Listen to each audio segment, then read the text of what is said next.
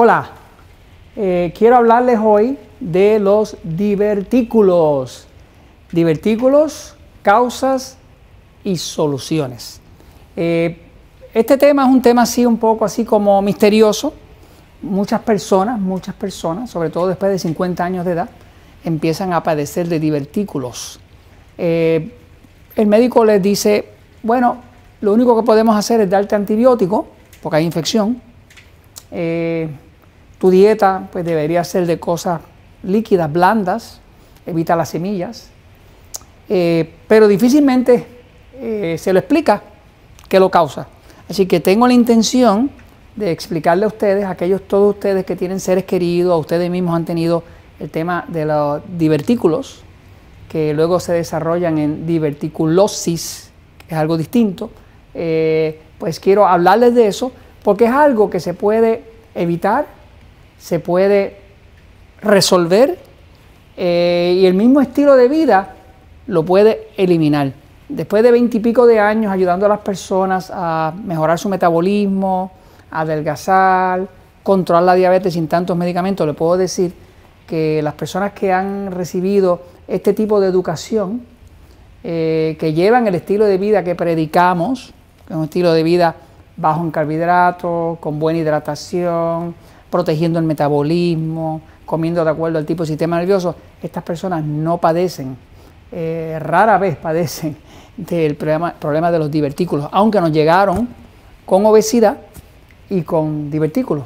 Entonces les doy una bienvenida a todos los que están llegando ahora, ¿verdad? Porque sé que algunos pues tardan un poco más de tiempo en conectarse y entrar, y está todo el mundo muy ocupado. De todos los países le mandan De todos los países. Saludos, a, todos los países, Argentina, Perú, México, España, eh, Costa Rica, para Estados Unidos, para Panamá, para todos los países, ¿no? Este, tengo uh, seguidores, amigos en todos estos países.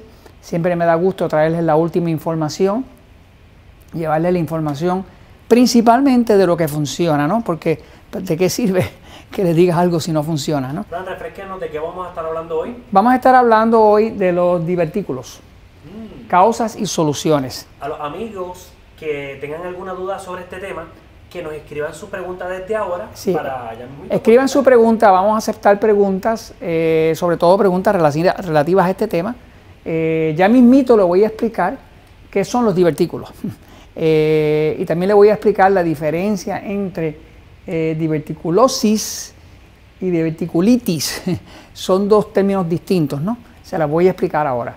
Este, es, importante eh, que uno entienda qué es este tema, porque está asociado a muchos problemas, inclusive de hospitalización. Muchas personas, sobre todo sobre 50, 60 años de edad, pues terminan hospitalizados con una diverticulosis.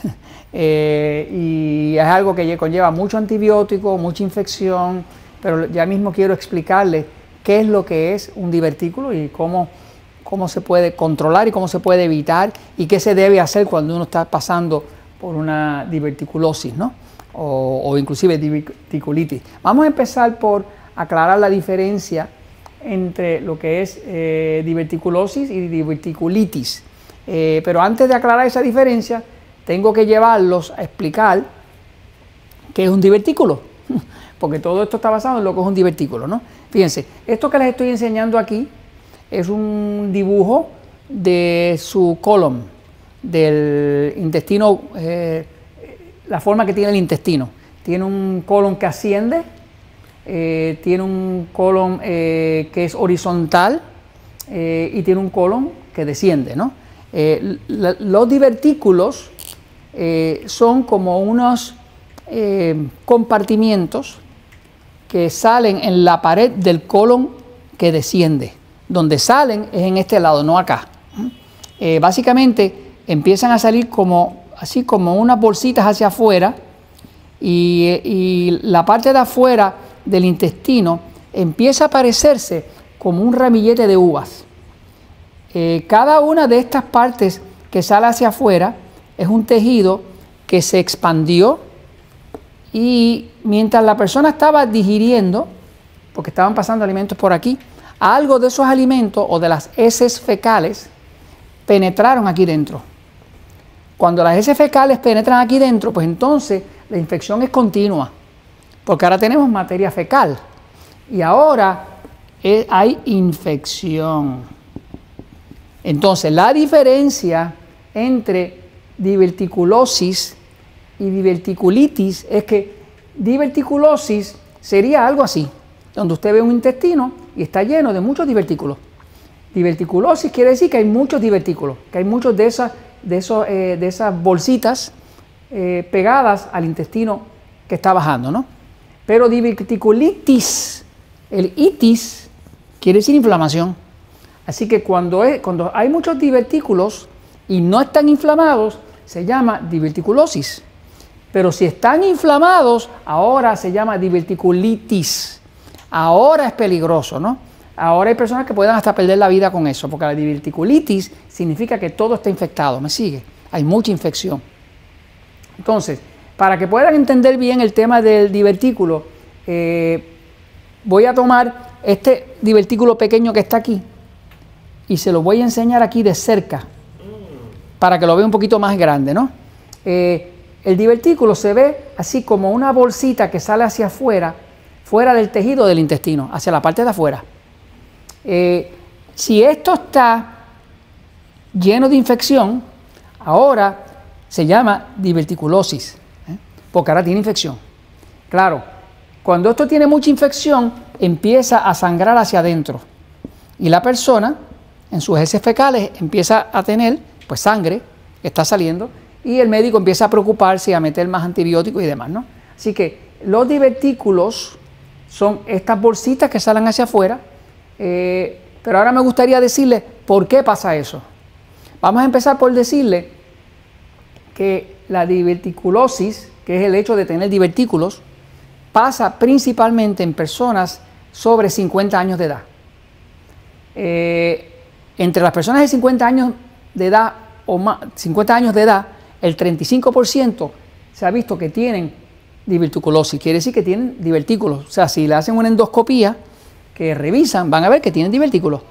Eso no quiere decir que están inflamados, pero el 35% de todas las personas de 50 años, de ese rango de 50 años un poquito hacia arriba, pues tienen sus divertículos. Ahora, cuando llegamos a los 60 años de edad, ahora llega hasta el 58% de las personas tienen. Así que en 10 años nada más se multiplica de 35% de las personas que lo tienen a 58%. Y entre las personas de 70 años o más, pues eh, el 80 y pico por ciento de las personas ya tienen eh, diverticulosis, que quiere decir que ya tienen una cantidad eh, amplia de divertículos en su intestino descendiente. ¿no? o sea, que es algo que de alguna forma tiene que ver con la edad.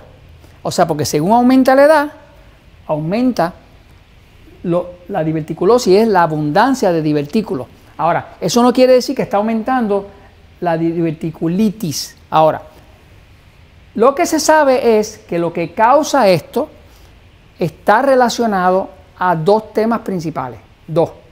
Uno, la edad y el otro, la obesidad. Sobre todo la grasa abdominal, la obesidad abdominal. Eso es lo que ha podido observar la ciencia en los estudios científicos. Eso es lo mismo que yo he podido observar entre los cientos de miles de personas que han pasado por los centros Natura Slim.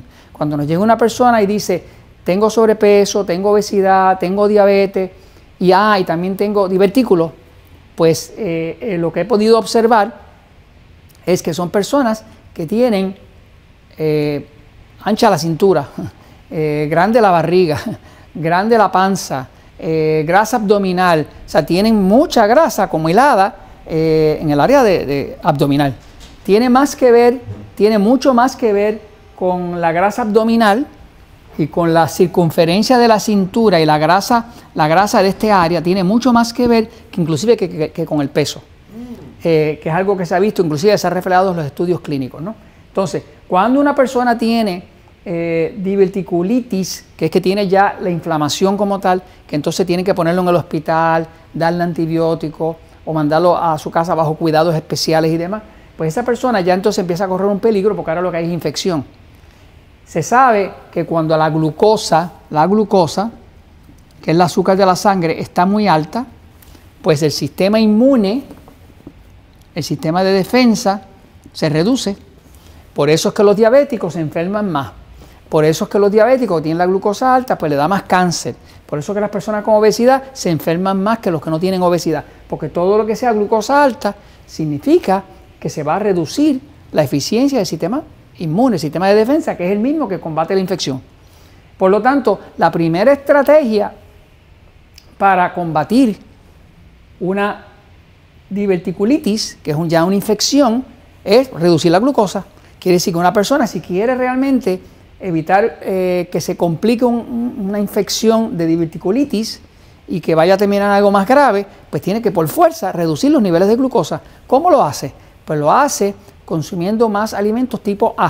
Los alimentos tipo A, ya usted sabe que son los alimentos que se llaman A porque adelgazan, que se llaman A porque son amigos del control de la diabetes. ¿Cuáles son? Carne, queso, huevo, vegetales, ensalada, nueces, almendras, ese tipo de, alimentos eh, son alimentos que no suben la glucosa. Y como no suben mucho la glucosa, pues van a permitir que el sistema inmune haga su trabajo. Y ahora el cuerpo puede entonces luchar contra la infección. Eh, ¿Tenemos una pregunta por ahí? Tengo dos preguntas. Dos preguntas. Una es de Facebook y una es de YouTube. Ok. Pero están relacionadas. Ok, una de Facebook y una de YouTube. Vamos a ver, pero están relacionadas. ¿Cuáles preguntas son? Eh, de YouTube, María Machado. María Machado de YouTube. ¿Se puede comer lechuga y tomate cuando se tiene divertículos? Y Cristina Pilar González de Facebook nos pregunta, ¿es verdad que con divertículos no se puede comer semillas? Ok, los médicos recomiendan que no se coman semillas cuando hay divertículos. La razón por la cual recomiendan eso es porque tienen el temor que si usted come semillas, esas semillas al bajar por aquí por el intestino se puedan alojar dentro del divertículo. Eh, esa ha sido la costumbre. Yo no la voy a discutir. Yo lo que he visto en mi práctica con cientos de miles de personas es que si la persona que tiene diverticulitis hace una dieta eh, baja en carbohidratos eh, y la hace de forma donde está usando, digamos, jugos verdes, que son los que bajan bien la glucosa, eh, que está usando poca cantidad de pan, de harina, ese tipo de alimento que sube la glucosa, se desinflama. Nunca he visto un caso que no se desinflame relativamente rápido si la persona está teniendo cuidado con sus niveles de glucosa. Porque lo que más expone el cuerpo a una infección, a una irritación, a que las bacterias hagan de la suya, a que los virus hagan de la suya, es la glucosa alta. Por lo tanto, la forma de usted controlar eh, cómo su cuerpo se puede defender, igual que para defenderse de un virus, es que la glucosa esté baja. Porque si la glucosa está muy alta, cuando la glucosa empieza a pasar por arriba de 130 miligramos por decilitro para arriba, como le pasa al diabético, pues entonces hay más enfermedades de todo, ¿no? Así que la estrategia principal es reducir la glucosa. Eh, ajá, pregunta. Olga Patricia Escobar. Olga Patricia Escobar. Dice, yo tengo divertículos, pero no sufro de estreñimiento. ¿Tiene algo que ver uno con el otro? Bueno, eh, tener divertículos y no sufrir de estreñimiento no es realmente, realmente eh, relacionado, ¿verdad? para tanto, ¿no? Este, los divertículos tienen muchísimo que ver con la glucosa alta. Eh, la persona que tiene estreñimiento definitivamente tiene deficiencia de magnesio, porque la forma principal de manejar el estreñimiento es suplir al cuerpo de magnesio, porque el magnesio es el mineral que permite que el músculo que se llama intestino haga su acción peristáltica y se mueva. Una persona que consume magnesio, sobre todo si es eh, citrato de magnesio o algo así que sea realmente absorbible, no va a tener problemas de estreñimiento. Eh, entonces, eh, ajá, hay otra pregunta. Perdón, Frank, vamos a aprovechar el viaje de este. Vamos, aprovechamos el viaje. Margarita Ortiz Contreras. Margarita Ortiz Contreras. No menciona nada de divertículos, pero dice: Saludos. ¿Qué hago con el estreñimiento crónico? Voy cada cuatro días. Bueno, amiguita, mira. Lo que funciona para el estreñimiento es el magnesio. Funciona mucho mejor que hojas de cena, que, laxantes, Porque el magnesio trabaja de forma natural, relajando el sistema, eh, eh, eh, el sistema nervioso. cuando el sistema nervioso se pone muy excitado, muy estresada la persona, el intestino se tranca. Porque una de las funciones del sistema nervioso excitado, que es el de pelear o correr, es que tranca el intestino, porque prepara el cuerpo para pelear. Si el cuerpo va a pelear o correr, pues no puede defecar, no puede mover el intestino. Así que el magnesio es la solución milagrosa para las personas que tengan problemas de estreñimiento. Ok. Eh, Dianela Montero. Dianela Montero. Parece que llegó un pelito tarde y le pregunta. Ok. Eh, hola, eh, tengo una pregunta. ¿Los divertículos pueden desaparecer cuidando la alimentación? Buena pregunta. Gracias por hacerla. Fíjate. la buena noticia, y esto generalmente no se lo explican por ahí en la medicina, el intestino está compuesto de células que tienen una vida promedio de solamente tres días. O sea, cada tres días usted tiene un intestino nuevo, teóricamente. Por ejemplo, las células de la sangre duran tres meses. Las células del hígado duran ocho semanas, que son dos meses. Las células de la piel duran seis semanas, pero las células del intestino duran tres días. Es una célula que nace, crece y muere, nace, crece y muere rápido, ¿no? Eh, por eso que el intestino es tan delicado, porque está todo el tiempo células bebés, son células bebés, ¿no? La pared del intestino es bien finitita. De hecho, el grosor de la pared del intestino es solamente una célula. No es, ni siquiera es una capa de células, es una célula, ¿no? Por eso que el intestino es tan delicado eh, y es que la vida del intestino de, de cada célula es corta, son tres días. Ahora, eso tiene una ventaja. La ventaja que tiene es que cuando usted empieza a hacer las cosas bien, empieza a hidratar su cuerpo, eh, relaja el sistema nervioso, hace una dieta tipo dieta 3x1, dieta de alimentos amigos, reduce el pan, la harina, el arroz, la papa, el dulce, los chocolates y demás, empieza a consumir más jugos verdes, eh, carne blanca, pollo, pavo, pescado, eh, mucho vegetal, ensalada, pues la glucosa baja. Como la glucosa baja, deja de destruir, el exceso de glucosa destruye la célula. Cuando la glucosa pasa de cierto punto, sobre todo de 130 miligramos por decilitro para arriba, ¿verdad? Por ejemplo, si usted se come un buen plato de arroz y frijoles, pues la glucosa va a pasar de 130. Una montaña, un cerro de eso, de arroz y frijoles o arroz y habichuela, como decimos en Puerto Rico, o un mexicano se sienta frente a una bandeja de totopo y se traga la bandeja de totopos con un montón de maíz y demás, pues va a subir la glucosa. Mientras más sube la glucosa, más daño a las células hay. Porque la glucosa cuando pasa de 130 destruye las células. Las destruye por un proceso que se llama glicación. Glicación es que toma una célula y otra célula y las células están separadas porque cada una es su propio universo. Pero cuando hay mucha azúcar, la azúcar las envuelve a las dos. Las pone pegajosas y las mata se llama glicación. Eso pasa cuando la glucosa sube. Cuando una persona tiene la glucosa muy alta, ese mismo proceso de glicación es lo que está debilitando la pared del intestino y es lo que crea los divertículos. ¿Por qué yo lo sé? Yo lo sé porque las personas con que he trabajado por 22 años, cuando me llegan, me llegan con divertículos. Los cambiamos a un estilo de vida donde usan la dieta 3x1, no abusan de los carbohidratos, se hidratan su cuerpo, eh, aprenden a controlar sus niveles de glucosa y de momento los divertículos no regresan más. ¿Por qué no regresan más? Bueno, porque si yo bajo los niveles de glucosa suficiente, ya no hay destrucción celular, ya no estoy matando las células bebé nuevas que están saliendo. Ahora el cuerpo tiene una oportunidad de reconstruirse. O sea que, aunque hayan infecciones ahora, eso no tiene que durar para siempre, porque cada tres días usted tiene un intestino nuevo. Así que hay quien dice que los divertículos nunca se van. Mi opinión es que sí se van a ir si usted mantiene los niveles de glucosa y se tienen que ir porque se resecan. Se resecan, sale piel nueva, los reemplaza y usted tiene un intestino nuevo. Cada, cada, cada tres días usted tiene un intestino nuevo.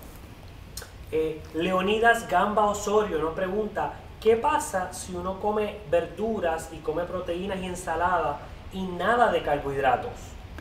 Pues comer eh, eh, verduras, mucho verde y, proteínas y demás, eh, pues lo único que puede tener es un efecto beneficioso sobre su cuerpo, sobre todo cuando está manejando una condición como esta, porque ninguno de esos dos tipos de alimentos, que son alimentos tipo A, que son de los que adelgazan, de los que son amigos del control de la diabetes, ni las verduras, ni los verdes, ni los vegetales, ni la ensalada, eh, ni las proteínas, le van a subir mucho la glucosa.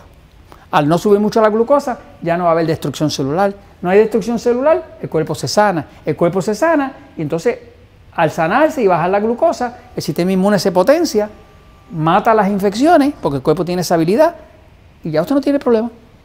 Yo tengo, por ejemplo, mi mamá que tenía divertículos y tenía ataques de eso, eh, la pusimos a adelgazar, este, se le fue la barriguita que tenía, la cosa que tenía, eh, se acabó. Jamás han vuelto los divertículos a molestar.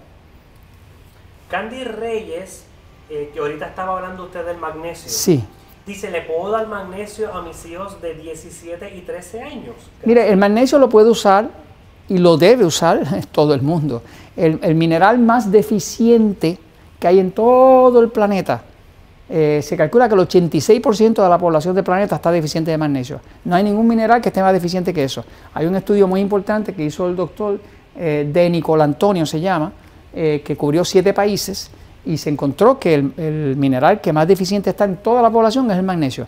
Fíjese usted que hay una epidemia de condiciones que son de falta de magnesio, como decir estreñimiento, hipertensión, insomnio, eh, eh, eh, problemas de, resistencia a la insulina, que tienen muchísimo que ver con, con deficiencia de magnesio. O sea, que en realidad, cuando usted reduce los carbohidratos, los alimentos tipo E, hidrata su cuerpo, hace que los niveles de glucosa se mantengan en un rango normal, automáticamente el intestino empieza a sanar y en tres días ya usted está empezando a tener su intestino nuevo. ¿no?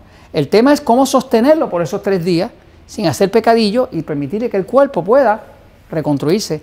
Yo he visto gente que nos llegó muy infectada, eh, con infecciones de diverticulosis que le daban todo el tiempo, diverticulitis, perdón, este, y, una vez que los pusimos en la dieta 3x1, los pusimos a, diferenciar entre los alimentos tipo A, que son los que adelgazan, que no suben la glucosa, los tipo E, que son los que engordan, que suben la glucosa, y la persona lo pudo entender y aplicar, se acabó el problema y no le ha regresado más, porque mientras usted lo mantenga, no le va a dar más.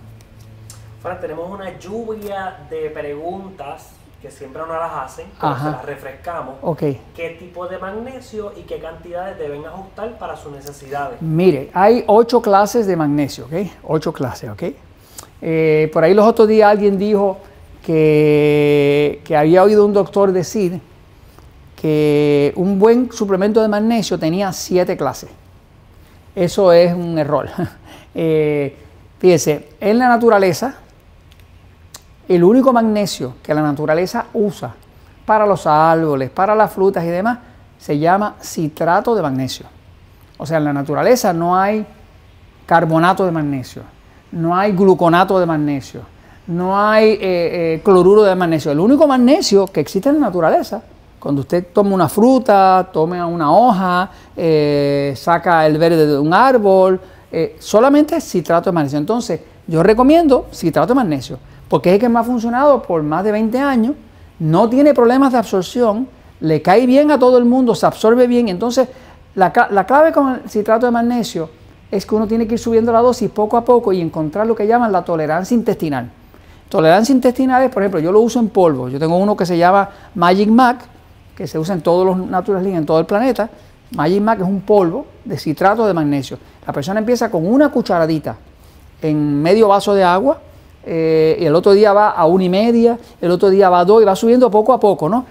¿Qué está buscando? Está buscando su tolerancia intestinal. La tolerancia intestinal de todo el mundo es distinta. Una vez que usted llega a su tolerancia intestinal, si usted se pasa, pues le va a dar como una diarrea. Usted mira para atrás y ya sabe cuál era su dosis correcta. Entonces, he visto que si se sube la dosis gradual, poco a poco, hasta encontrar la tolerancia intestinal, la persona no falla. ¿Por qué tolerancia intestinal? Bueno, porque todos no somos iguales. Hay personas que yo conozco que necesitan dos cucharitas eh, o, cuatro tabletas, eh, si es que lo consigo en tableta, y hay otros que necesitan una cucharita o dos tabletas, si es que lo consigo en tableta. O sea, que la forma favorita es citrato de magnesio. Es la que mejor se absorbe. No consigue citrato de magnesio en su país, bueno, trate lo más cercano sería como cloruro de magnesio, ¿no? Este, desgraciadamente no sabe tan bien. pero el citrato de magnesio, pues eh, ese que nosotros usamos, pues viene con un sabor eh, sabroso, porque sabe a, a, limón y con stevia y qué sé yo, ¿no? Pero la realidad es que el magnesio funciona, el magnesio funciona y todo el mundo está deficiente de él. Para una preguntita más y puede hacer un resumen para ir cerrando. Ok, ok. Cristina Pilar González. Cristina Pilar González. Dice, ¿cómo se llama el joven que habla detrás de la cámara? El joven que habla detrás de la cámara eh, se llama Jorge Torres y es el camarógrafo y director de Metabolismo TV desde hace 12 años, ¿no? Wow. Este, y Gracias siempre- por lo de joven, gracias por sí, lo de joven. sí, me ha, me ha acompañado todos estos años este, en nuestra aventura de investigación y de educación al público, ¿no? Yes. Este, eh, él tiene su propia fanaticada. Sí. Entonces, eh, vamos a hacer un resumen. ¿Qué causa los divertículos? ¿Qué lo causa? Niveles de glucosa alta. ¿Ok? Así que uno haciendo su dieta 3x1, eh, reduciendo los alimentos tipo E, que son los que engordan, que son los que son enemigos del control de la diabetes, uno no va a tener problema de diverticulitis, que es la parte inflamatoria. ¿no? Eh, ¿qué, eh, qué se hace para controlarlo? Reducir los niveles de glucosa y hacer una dieta que sea más de vegetales, ensaladas, jugos verdes sería muy ideal, eh, proteínas blancas, ese tipo de cosas. Aprender a comer según su tipo de sistema nervioso, todos no somos iguales. Hay personas que tienen un sistema nervioso excitado, otros lo tienen eh, pasivo, por ejemplo, yo lo tengo pasivo, pero hay gente que lo tiene excitado. Eh, y una vez que usted aplica eso, el tema de las infecciones empieza a desaparecer. Por último, quería enseñarle que todo esto que les he dicho, pues yo lo aprendí de la observación y viendo estudios, pero finalmente salió un estudio último que salió reciente ahora en el 2019, que se llama así, eh, la edad, la obesidad y la incidencia de diverticu- diverticulitis. Y este estudio que lo hizo el doctor Lee y su grupo en el 2019 llegó a las mismas conclusiones de lo que le acabo de decir. ¿Cuáles son los factores determinantes para que haya diverticulitis, que es la inflamación de esos divertículos en el intestino eh, que baja? Siempre son la edad, la obesidad, sobre todo la obesidad abdominal, de la cintura, de la grasa abdominal y demás. Y eso es lo que más se ha visto que tiene que ver con los divertículos. Por lo tanto, cuando usted le pone orden a su cuerpo, lo hidrata, come de acuerdo a la dieta 3x1, aprenda a comer de acuerdo a su tipo de sistema nervioso, usted deja de tener problemas con los divertículos. Y si ya no tiene problemas con los divertículos, ya usted no está suprimiendo el sistema inmune y no va a tener la infección que se llama diverticulitis. Así que, muerto el pollo, como decimos, ya se acabó el problema. Este, nunca he visto un caso de una persona que no lo pueda resolver, no creo que usted vaya a ser la excepción. Y todo esto se los comparto, pues, porque la verdad siempre triunfa. Ya saben que tienen este consejos que pueden pedir, pueden, pueden escribirnos por ahí, por las redes, por YouTube, por Facebook. Nos pueden escribir temas que les interesen. Siempre nuestros consultores le van a contestar. Tenemos cerca de 200 consultores certificados de metabolismo que me ayudan contestando y enviándole a ver otros videos y demás, porque la ayuda está disponible. En todos los países donde estamos tenemos ayuda disponible. ¿Ok? Nos vemos en una próxima ocasión. Nos vemos. Chao.